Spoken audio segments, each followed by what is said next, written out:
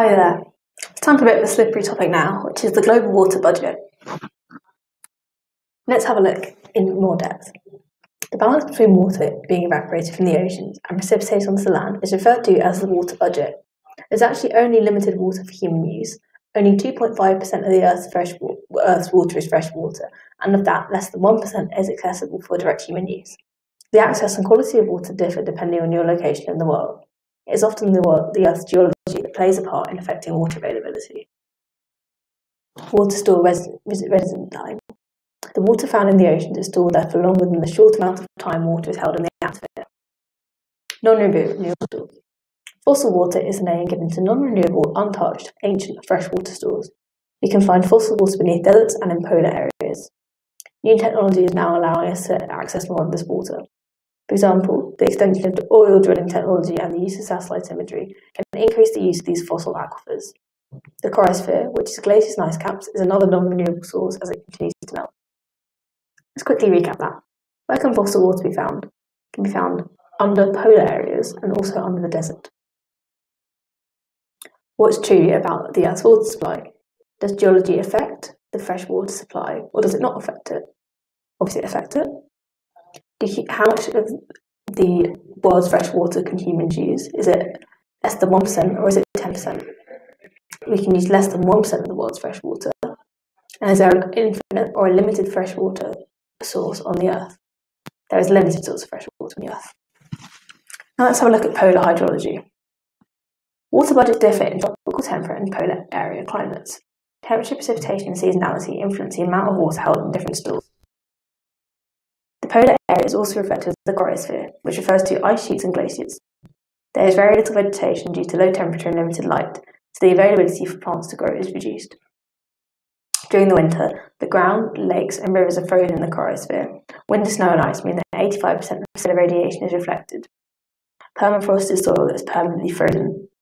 During the spring and summer, frozen water thaws in the cryosphere, causing rapid surface runoff, resulting in increased evaporation. As ice and soils thaw, biogenic gases, which are those produced or used by organisms, such as methane, are released into the atmosphere. So to quickly recap that, in polar regions during spring and summer, frozen water thaws in the cryosphere, causing rapid surface runoff. This results in increased evaporation. As ice and permafrost thaw, what kind of gases are released into the atmosphere?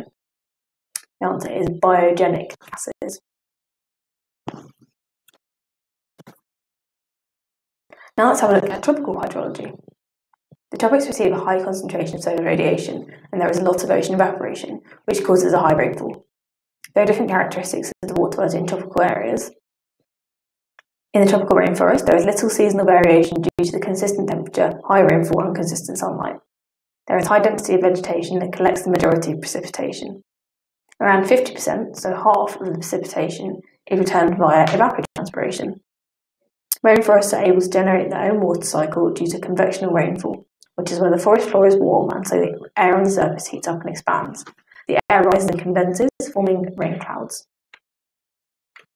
When there's deforestation, this reduces evapotranspiration, which in turn reduces precipitation levels and water supply, as less water is being put back into the cycle via plants. Dead we'll have to throw through streams and flip rivers, taking longer to cycle through.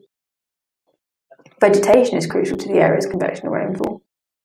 Rainfall is essential for all rainforest life, so severe deforestation would have devastating knock-on effects to the rest of the ecosystem.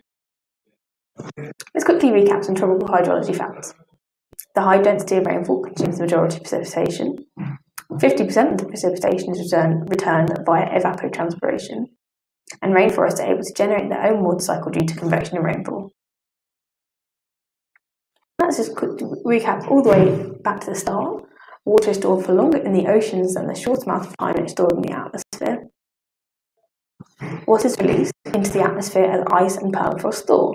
Is it gasoline, thermogenic gases, glycogenic gases, or biogenic gases? The correct answer is biogenic gases. So, which process reduces evapotranspiration, which in turn reduces precipitation levels and water supply? Is it global warming, deforestation, or afforestation? Correct answer is deforestation.